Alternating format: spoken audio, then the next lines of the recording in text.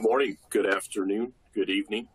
My name is Sean Papp. I'm the uh, commercial manager for the Electric Rope Shovel Product Group. I'd like to welcome you today to uh, our, uh, our webinar here on our new technology package and our new operator assist package. Uh, we're looking to bring this to the market beginning in 2023 very excited about it. It's a it's a new platform for us, and and I think it's been a, a long time coming for us as a as a product group. So very excited that uh, everyone's been able to join us today, and, and excited for us to go over uh, the new technology offerings that we'll have for both uh, new machines and and for aftermarket.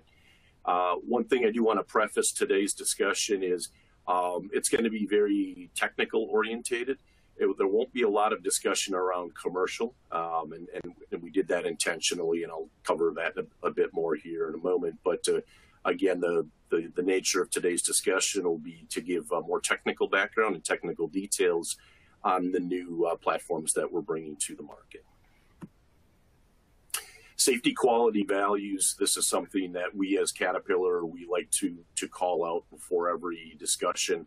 I'm sure all of you on the line today, safety is number one as it is for us. And um, again, doing quality work, whether that's providing information or or the, the end product and making sure that we, you know, give our customers the best experience uh, through quality uh, processes and quality products. And of course, uh, we live by our values um, and, and work by our values every day. I do, this is uh, what I was going to touch upon earlier from a commercial standpoint. So please note that there are, um, I'm, I'm, assuming dealer represents representatives on the line, uh, customers, competitors. At the end of the day, we, you know, as competitors, we need to make independent business decisions and we need to make sure that we're not sharing any competitively sensitive information. So again, that that's why today we're going to focus on the technical uh, more so than on the technical and you know again some topics to avoid if you see on the right hand side in that gold shaded box you know anything with pricing and margins credit terms uh, uh, purchase agreements that type of thing we will not be discussing that today just because again we've got such a broad audience on the line today. Be safe be present champion the power of everyone win the right way and be cyber safe.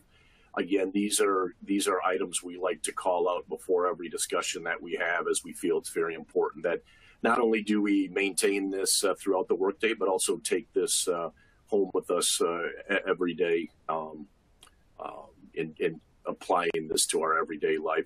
We do ask that you be present. Um, again, we uh, anticipate this will go about 45 minutes today, and uh, we're thankful everyone took the time out today, and we're going to go over a lot of detailed information. So it'll be good for uh, for everyone to uh, uh, stay dialed in and and um, digest everything as as it's shared.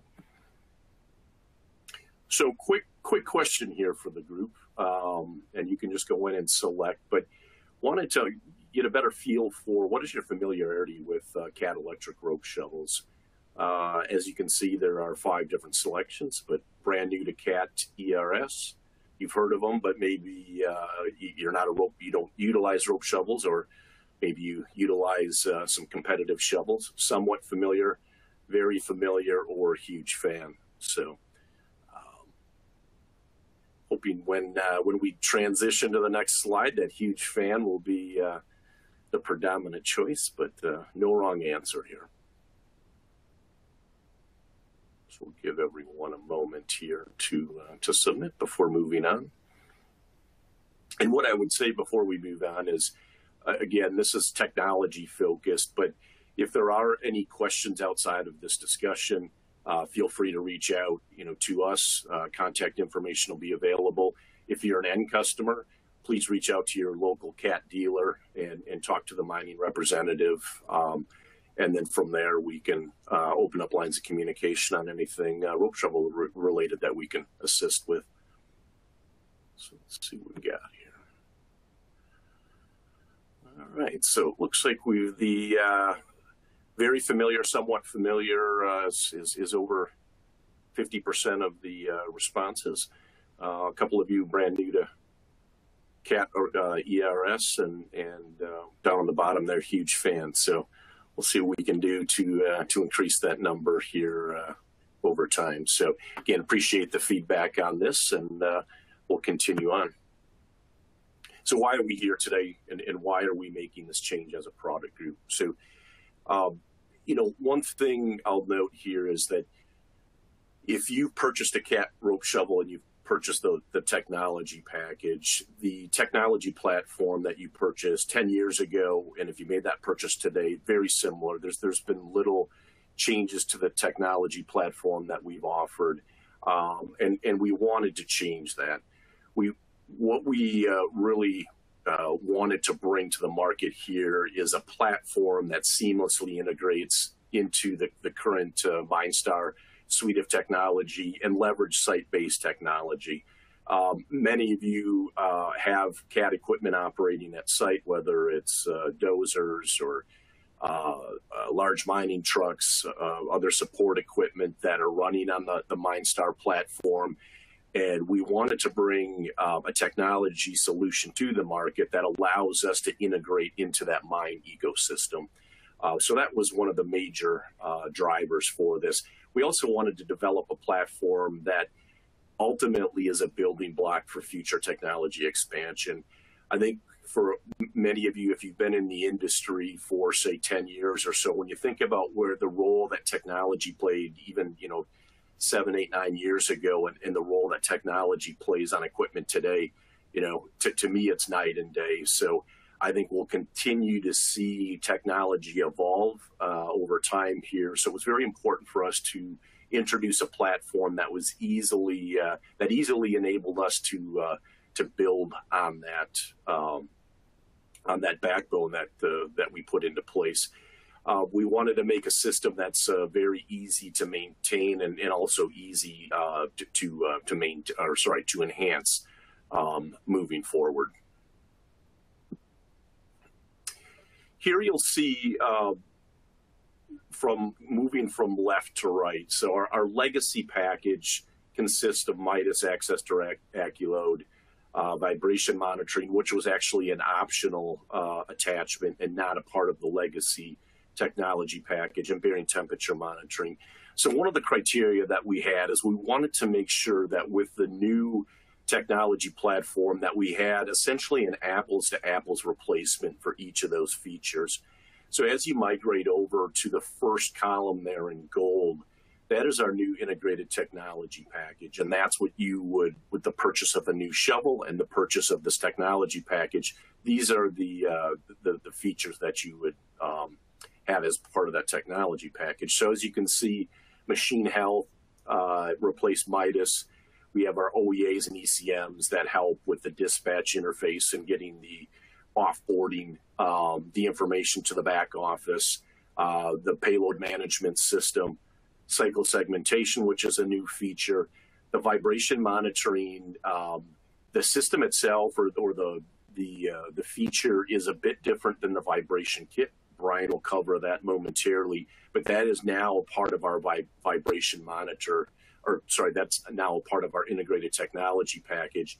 And we've also brought over the bearing temperature monitoring feature. So again, in our mind, we've we've replaced um, all the legacy features uh, with with new features, and we've actually expanded on the technology package. So we feel that uh, customers are getting uh, more bang for your technology buck, if you will.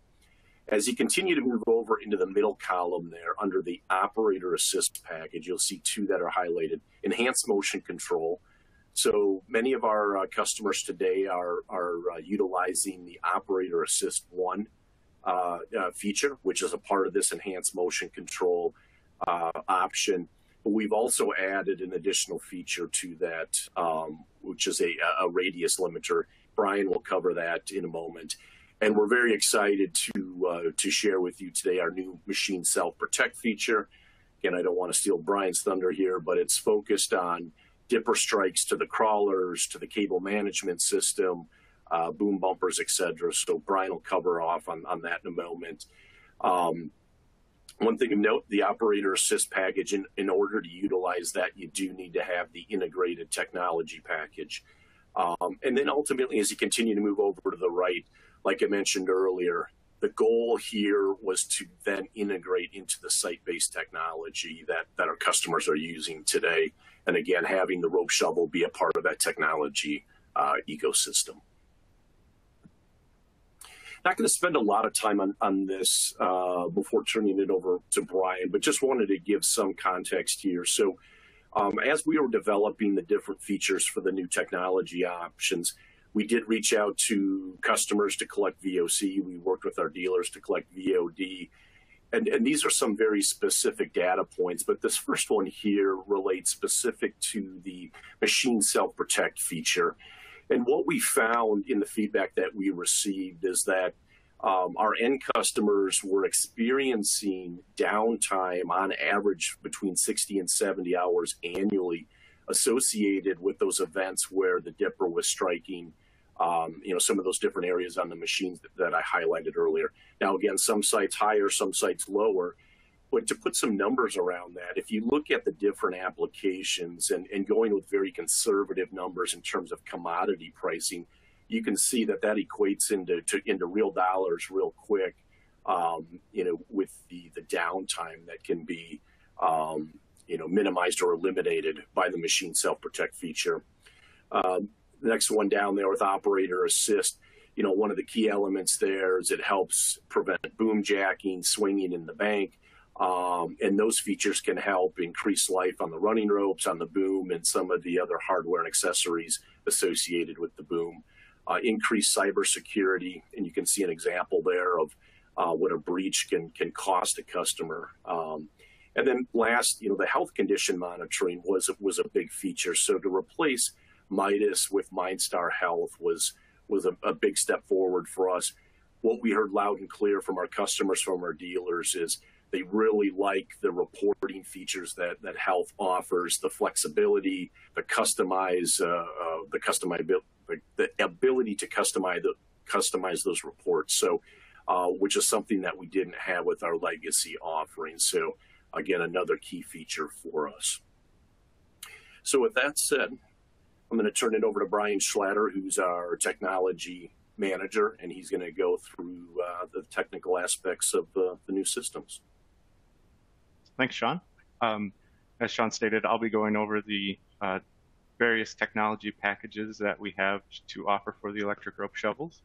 So to start, we we need to talk about our integrated technology system. The integrated technology system is really our foundation for, for technology. It provides the, the platform that we can use to interface all of the various technologies that we're adding to the shovel. Uh, the, the heart and soul of this is the integrated technology cabinet. This houses the ECMs that are going to uh, be related to each technology. So you can see there that there's a an ECM for the different technologies that I'll, I'll, get into later later on in different slides for vibration monitoring for our payload and for the machine self-protection. So one of the key features of this uh, integrated technology system is our connectivity. So if you follow the, the cabinet there on the left to underneath the, the operator's cab in the utility room, it's connected up to a radio that is uh, mounted on top of the cab. This is our our gateway to getting data on and off the machine and providing that increased security that that Sean was was talking about. So with the integrated technology uh, system, we're also up doing some updates to the operators displays. On the left-hand side, you'll see the current st state of what our operator displays look like there's a common rope and HydraCrowd uh, picture for block picture for for the shovel, and and we're moving towards uh, a more um, picture picture based uh, graphic on the on the on the machine. So there's one for the rope crowd and then one for the HydraCrowd as well. And, and then each of the technology features will also have some sort of an alert, and it'll be highlighted for um, for the for the display, and I'll get into those for each feature as, as we go through it. The other update for the operator display is the alarm screen. We're, we're not necessarily updating the graphics on this screen, but you'll, you will see enhanced alarms and notifications for the operator to to uh, uh, to notify them of, of uh, what the technology package is doing. So then going to our health and productivity, as Sean stated, the, the reporting system is is something that, that we're we're looking forward to here with MineStar Health on on the ERS that this is available for customers to have have their their data uh, uh on the machine as they would like to see it so this is the single interface to, to show that machine data. This is fully customizable with the interface, and there is there is training on uh, the cat dealer websites on how to how to customize this, and and you then are able to display the information that you are interested in seeing that is beneficial for you. So the first uh, technology that I'd, I'd like to talk about is is payload so our payload feature is is a real-time measurement feature that includes uh, inertial and dynamic load compensation. So with this compensation, we're able to uh, grab measurements throughout the dig and swing cycles to increase operator awareness, uh, help with consistent truck loads, and improve truck payload compliance, all while optimizing shovel operation.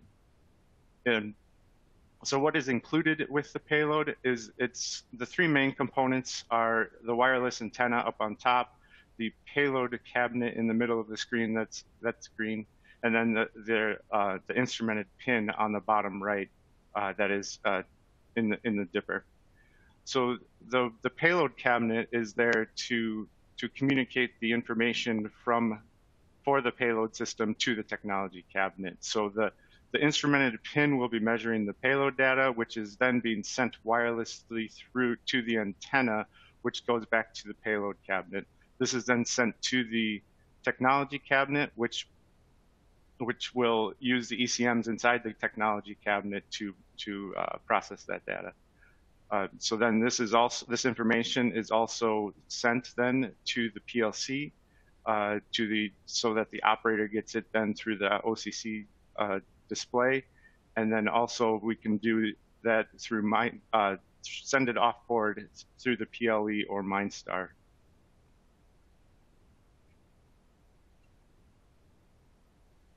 With the payload feature, we're also updating our displays. So some of the display and uh, information that you'll, you'll be able to see is our, our last pass bucket load, what the current truck load is for, for that truck, and then our truck count since the last shift shift change, excuse me.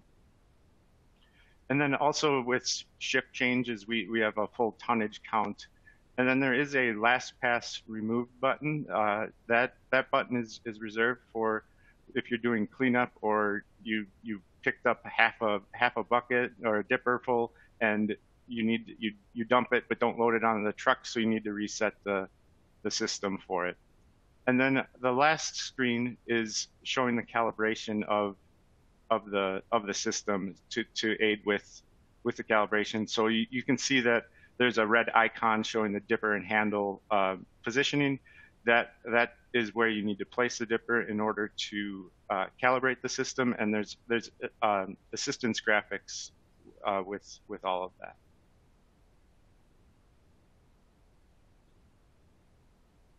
The next feature is the vibration monitoring system. So with the vibration monitoring system, uh, Sean alluded to that we have a vibration kit already today. Uh, this is this is being updated. So the vibration sensors, uh, as they exist today, are on the, the all of the motion gear cases and motors. So so you have hoist, you have swing, and you have crowd uh, vibration data. But currently, it's all just wired to a central location, and there is no processing of that data. Um, the vibration monitoring feature that we have with this tech, tech package, it, it, it, includes that that uh, analysis and, and, processing with, with certain subscription levels. But the way that we do this is we we have a an ECM local to uh, to each motion so for the hoist, for the, the swing, and the crowd. And it's taking all of the vibration data from the sensors, collecting it, and sending it to the technology cabinet.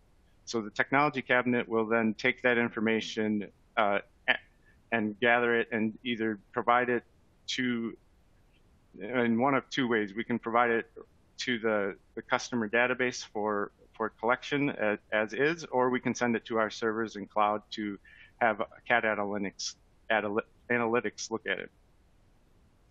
Um, so that that's kind of uh, where this standard subscription and premium subscription come into play. Uh, I'll talk a little bit more about what you get with this in a, in a different slide, but the standard subscription is you get the data available for the customer uh, to do the analysis, and this also provides maintenance and upkeep of our systems. And then with the premium subscription, we have uh, CAT data analytics and condition indicator report uh, generation. Uh, you're going to get a report and and uh, a monthly meeting with with the CAT analytics group to uh, to go over any sort of trending that that is happening with the system. So what's included in the vibration monitoring system? So this is just a snapshot of where everything is located on the machine. As I stated previously, we're putting an ECM uh, local to each function. So the hoist uh, ECM is located on the back uh, walkway by the control room. And then moving along, you have the swing ECM right next to the, the right-hand swing. And then the crowd uh, ECM is on the outside of the utility room.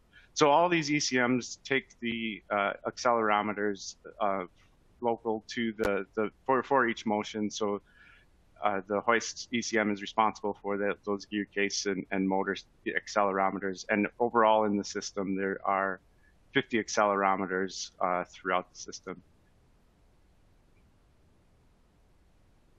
Then this information is then connected back to the technology cabinet, which is the teal box in the in the right-hand picture. So going, so what, giving you a snapshot of, of what you could potentially see with the, the data coming out of the systems. On the left-hand side is, uh, you'll see the machine state da data. So this could be speeds and swing, uh, or speeds and position and various um, machine data with, there's, there's a couple hundred uh, different data points that are available for, for uh, analysis. And then also you we provide the raw acceler accelerometer data. So then this is the standard subscription offering, which will uh, provide the, the ability for the customer to uh, analyze their own data. Then uh, moving to the right is, is what we're offering, is an example of what we would be offering for, with the premium subscription. So we're we're going to have a monthly conference with the customer to go over reports and discuss trends and data and recommend uh, actions for uh, proactive maintenance. So you're going to get uh, a status of the machine, of the accelerometers. Is are they seeing any sort of trending with it? Is there any sort of uh, issues that they're they're they're highlighting and and providing? So the process data will be available in a report, and this this can be this will be walked through with the uh, data analytics person and the the make sure that the customer understands what we're providing to them.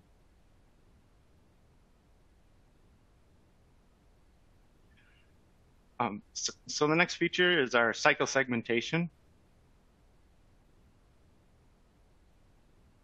So cycle segmentation is a, a feature that is to provide the productivity information to the, to the customer. This is done through MineStar Health Equipment Insights, and it is a software-only feature. What it's doing is it's taking uh, machine states in the PLC, so we're taking data from the PLC, sending it to the ECM in the technology cabinet, and and it is taking that information, uh, breaking it out into different cycles and, and different segments, so whether you're loading or whether there's a bank preparation, you know, different different categories there, and then it's reporting it out to the to the MineStar Health Equipment Insights. Again, this is just a, a reporting feature. This is not uh, seen by the operator, and it's meant to, to provide reports and information on the performance and operation of the machine.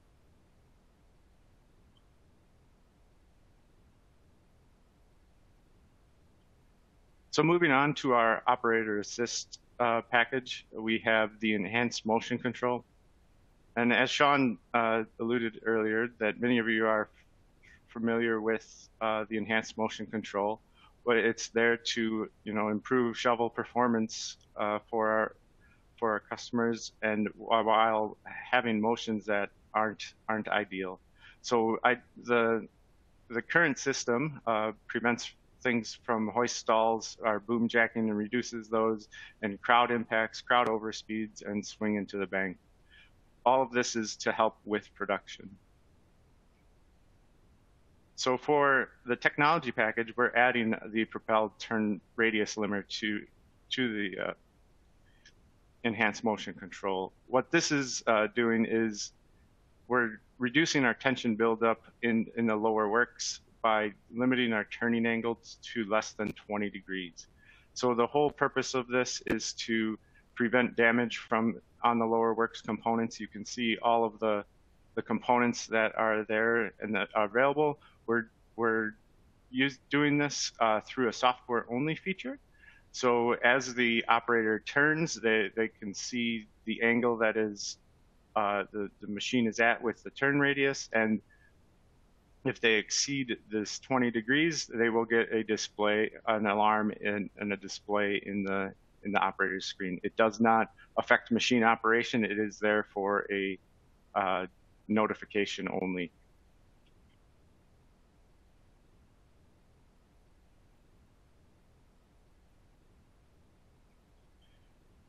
The next feature I'd like to discuss is the machine self-protection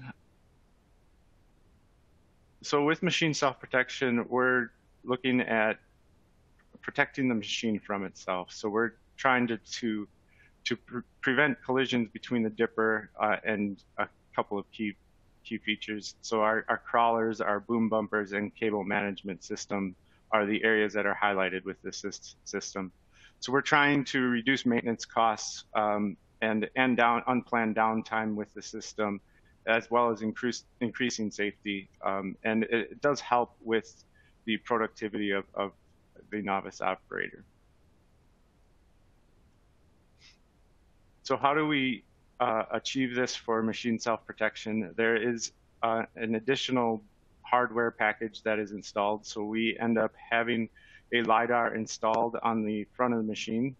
So the the LiDAR is then connected to the, the the technology cabinet, and and that the information is processed in the technology cabinet. So the the lidar is scanning the bucket on the on the bottom right. You can see kind of how how it uh, scans and the, the projected imaging that it's going to have. It takes that information and uses the ECMs in the technology cabinet to to project a path for the for the dipper given the operator input, its current speeds and velocities.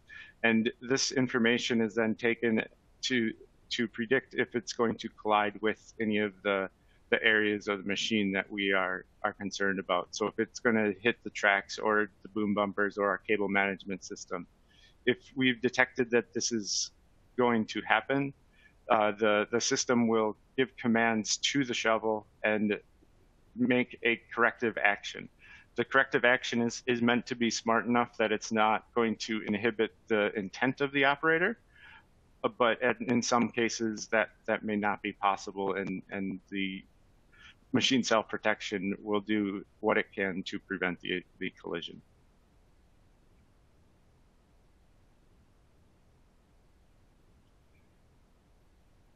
So with machine self-protection, we're also updating our displays. Uh, you'll see that each display uh, provides an indicator of what portion of the machine that is being affected. So going working from left to right, if we have a dipper and track protection, we will be highlighting the dipper, I mean the, the dipper and the, the tracks to to notify the operator that, that a collision is about to occur and that the, the system is going to be taking control. this again goes for the dipper and the boom bumper protection. So we'll highlight the boom bumper and then again, once again for the cable management system on the back of the machine.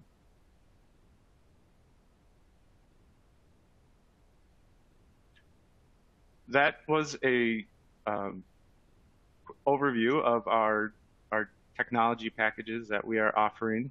Um, he, provided here is uh, the reference material that, that covers this as well.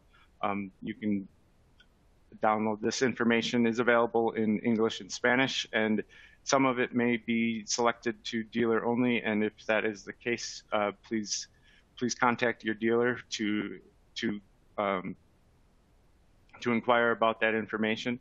There's also information in this webinar itself. Uh, on the left-hand side, there's content available for download, and again, this is available in English and Spanish.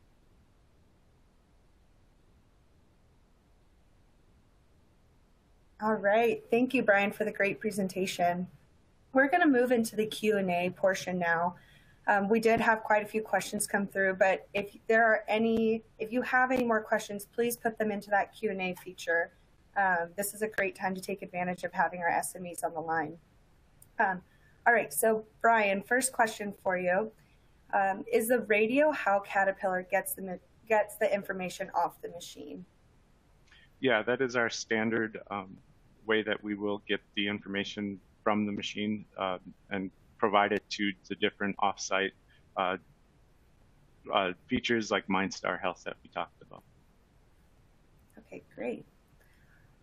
All right, here's the next question. Does this payload feature auto advance to the next truck or does the operator still have to hit next truck?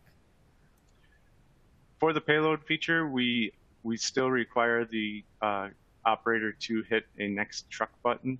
That that is currently an auto advance feature is currently not included in, in our payload system. Okay, great. Thanks. Um, Sean, I actually think this might be a good question for you. It's around the timing of when the packages will be available for dealers. So the question is, hi, when will um, EMC 2.0 be available for the dealers?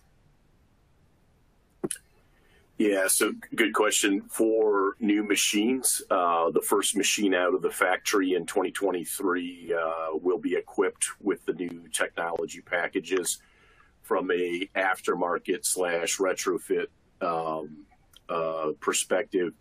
Uh, we anticipate having uh, the uh, the packages ready by end of Q2 2023. Great, thank you. All right. Uh, let's see, Brian, this is a good question for you. Does the LiDAR have any capabilities to detect, to detect GET that has fallen off the bucket and loaded into a truck?